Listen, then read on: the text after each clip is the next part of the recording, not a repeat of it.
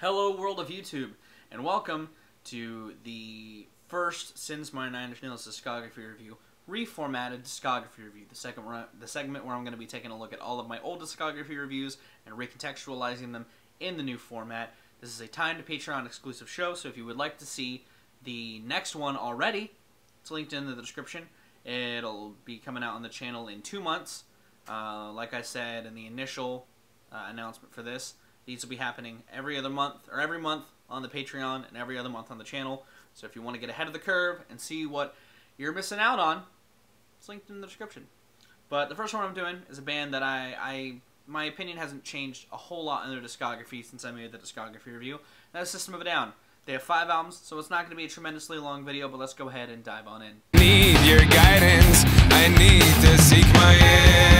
This album isn't bad by any stretch of the imagination. I don't think they have a bad album in their five album catalog, but if I were to peg one as my least favorite, it would be Steal This album, if only because it is probably the most derivative record of theirs. You know, obviously this album kind of came about as like these are B-sides from Toxicity and it's it's very much still the same as Toxicity. There's a couple of songs that maybe have a little bit different of production for flares like Ego Brain and Mr. Jack, but a lot of this Chic 'N' Stu, Bubbles, Boom, New Guns, ADD, IAIAO, you know, fuck the system. Very much Toxicity era system of a down, just more of that. And while I love Toxicity, you'll see it obviously relatively high on this list. Maybe not as high as other records in their catalog, but um, my biggest which, issue with this album is that it's more just more System of a Down. It has some of the absurdity more from their first album. Um, the self-titled had a lot more of the absurdity of what's on here, like on Chic 'N' Stu and uh, IAIAO's kind of delivery is a little less in line with Toxicity. But I feel like that those sacrifices were made to make a tighter listening experience, which is probably why they were left on the cutting room floor to begin with. But this is still a great album. If you like Toxicity, check this one out. You probably already have. You probably already like this album, and you're probably already hating me for putting this uh, at the bottom of my list because it's above albums like. I also think that even though I do like this record as a whole, I find myself revisiting it the least out of the System of a Down discography collectively, um, because even though I do like the weird songs and the politically charged songs, I feel like, and I'll say this about the next uh, entry as well, the the stark contrast just makes me not want to revisit it collectively. Honestly, like like I said, I feel like there's a reason why these songs were left off the cutting room floor because they're just not as strong as the ones on Toxicity. Personally, my opinion on System of a Down may be a little weird because of what's at like the number one and the number two spot, but I do think that outside of Steal This Album feeling a little B-side collection-ish, Hypnotize is definitely the weakest out of them progressing their sound because there's a clear split. And I talked about this in my original discography review. There's a clear split in the types of songs here. There's clearly Serj Tankian fronted songs like Attack and uh, Hypnotize to a degree and Stealing Society. Songs are a little more politically charged, and then there's songs like Vicinity of Obscenity or uh, Kill Rock and Roll or She's Like Heroin that feel more Scars on Broadway esque, where Daron is kind of fronting those songs and the lyrics are a lot more absurd and bonkers.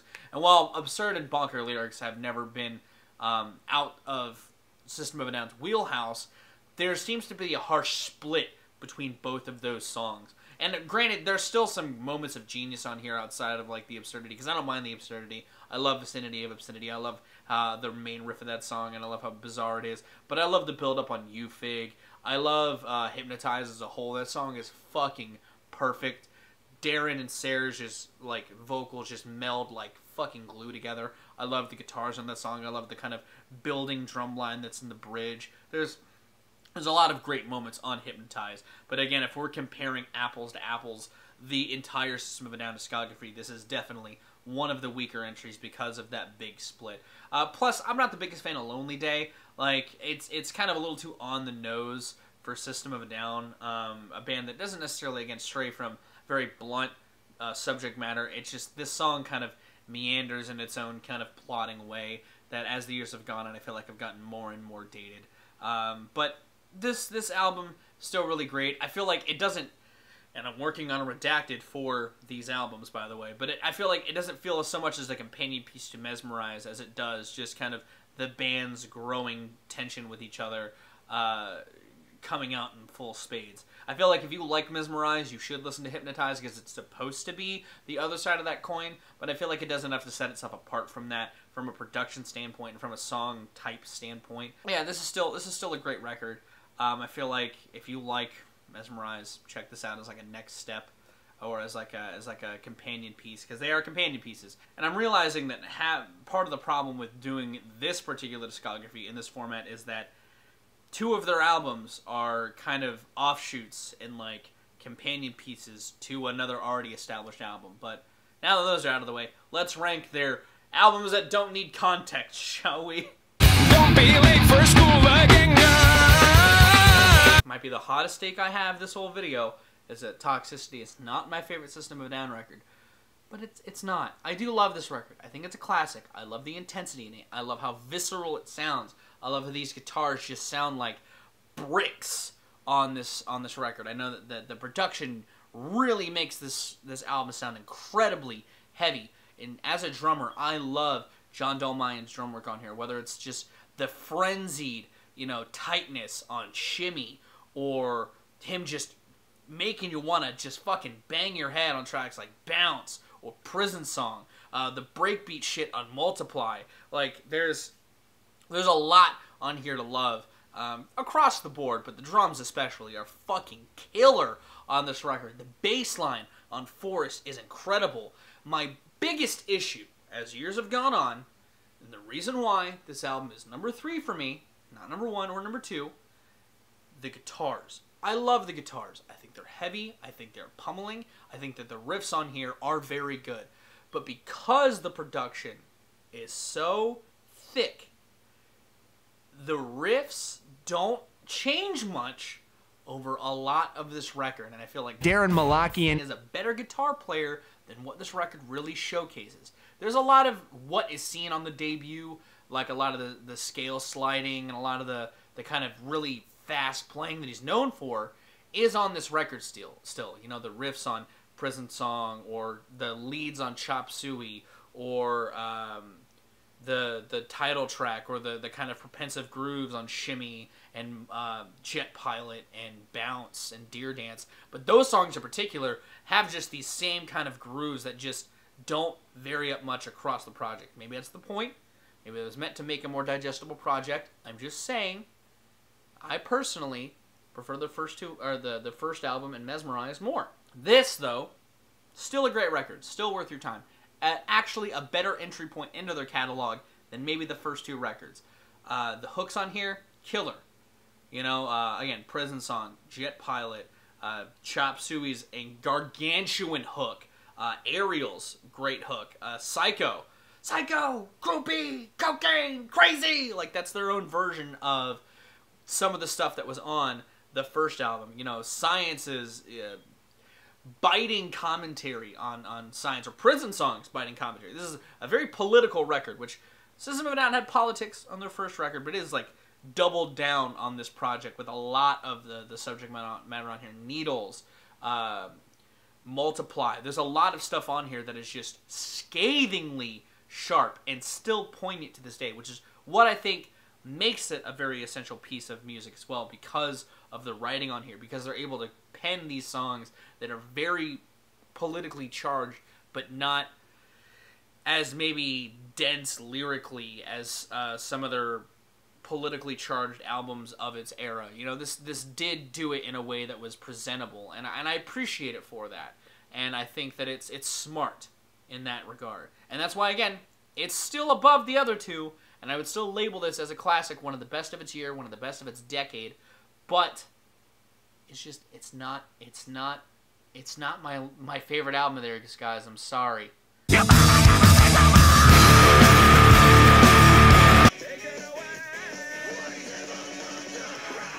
God, it's so so good. Their debut is so fucking unhinged, man. That's what I love about it. It's so just a lot more nuts than Toxicity. That's why, like, Toxicity was my gateway into System of a Down. Like a lot of people's, because Chop Suey was huge, Toxicity was huge, Shimmy was on a Tony Hawk game. Like, I listened to a lot of their of Toxicity, but when I got my hands on their debut, I just loved it so much more. Like, I'm a, you guys know I'm a fan of weird music. I love Mr. Bungle, and I feel like their influence from a band like Mr. Bungle is a lot more prevalent on here. Like, Peephole's a fucking metal, like, waltzy type song with, like, this big, like, whoop-ba-ba, sound to it. They have micro songs like The Devil and Cubert that are just, like, weird little sonic vignettes. Um, they have the political commentary on here still, like on uh, suggestions and sugar and, you know, mind and war and pluck you know, but it's just delivered in a much more gnashing manner. Like Serj is just frothing at the mic on this project, and I love it so much more. I love his deeper guttural growls and screams that he has throughout this project. I like the riff work a lot more on here. I think that there's a lot more variety in the guitar playing on here. I think the bass rattles a lot more on tracks like Mind and on uh, Spiders, and, and, and just it feels a lot more harnessed. The drums are still incredible. This is an amazing debut for them that I felt like started them off on the best note possible, and I just, ah, album is, is perfection. Uh, maybe not the best starting point, but if you like Toxicity and you want something a little weirder, listen to their debut. It's it's so just unhinged. You know, it's it's it's amazing. I, one of my favorite like alternative metal records. One of my favorite metal records ever. I love how just raw this record is, and it's just it's fucking great. It's it's well worth your time if you've never sat down and listened to it. For you? This might be my hottest take here. Uh, the fact that Mesmerize is on this point in the list. And like I said in the Hypnotize section, I am going to be making a redacted of these two projects, but I still think that this is so good. It has a lot of the unhinged weirdness that was on their debut and on parts of Steal This Album and Hypnotize, but it's in a much more harnessed fashion. You know, you have these incredibly pummeling songs like BYOB and the chorus of Question or This Cocaine Makes Me Feel Like I'm on This Song, which is also one of the more absurd tracks they've ever done. Um, but you also have tracks with colossal choruses like Violent Pornography and Lost in Hollywood and um, Radio Video. You know, they have this. This is just like Toxicity, a very digestible version of System of a Down, but they have more variety in the types of songs here because you have the weird shit like Cigaro and This Cocaine and Violent Pornography. Um, you have tracks that are a little more of what they were going for sonically in this era, like Sad Statue and Question. You have the softer moment like Lost in Hollywood. You have the song that uses synthetics in a way that is very different from them, like old school Hollywood. And while the Soldier Side intro, if you were to listen to this on its own, doesn't really make a whole lot of sense without Hypnotize, I still think that the rest of this record is pretty much the best version of a streamlined System of a Down that you could ask for. You know, there, there's it's got a little bit of everything for System of a Down fans, and I personally feel like it's a great entry point. But uh, I feel like if I were to give you the ultimate entry point, it would be Toxicity, and then maybe Steal This Album if you want more Toxicity, uh, their debut if you want something a little weirder, or Mesmerize if you want them kind of branching out their sound a little more, um, and then going into Hypnotize. Either way, if you like alternative metal, I feel like System of a Down are an essential piece of that. And Mesmerize, to me personally, is my favorite because, like I said, it just encapsulates a lot of what I love about the band in one sort of tightly woven package. You know, um, Serj does his thing a lot of this record. Daron gets to shine a lot more on like the bridge of BYOB and on um, Lost in Hollywood. He gets to really kind of do his softer crooning like he does on Lonely Day. It's just a lot better on Lost in Hollywood. Um, and Question is my favorite System of a Down song. I love the accompaniment in that track. I love the grand sweeping orchestral nature of the song, even if it is still in a tight alternative metal jam. I love the propensive building that goes throughout the chorus of that song. Um, this is just this is pinnacle for me. It's got so much good shit in it. They keep it heavy. Cigaro is such a heavy fucking song. It has the the same kind of growled vocals I, I loved from their debut, kind of in a more prominent foray on some of the heavier tracks. You know, it just has everything, and that's why it's my favorite System of a Down project personally, and why it's at number one. So, what did you think of this review? Do you still like System of a Down? Do you think they should come back? Let's talk about that in the comments down below. If you like this review, be sure to give it a like. If you want to see more of my music, gaming, and general nerdery content, be sure to subscribe. Special thanks to the patrons. If you would like to join their ranks, catch this segment early, that's a little meatier, talk a little bit about uh, my original discography review, and talk about my uh, opinions on the band's discography as a whole before I get into the albums. I give, a, I give you a meatier version of this video on the Patreon. I also let you guys help me curate what band I talk about next in this segment. Um, it's linked in the description, the Patreon. Um, but I'm going to get out of here. Thank you so very much for watching. You guys have good days, out of situations. And I'll see you another day.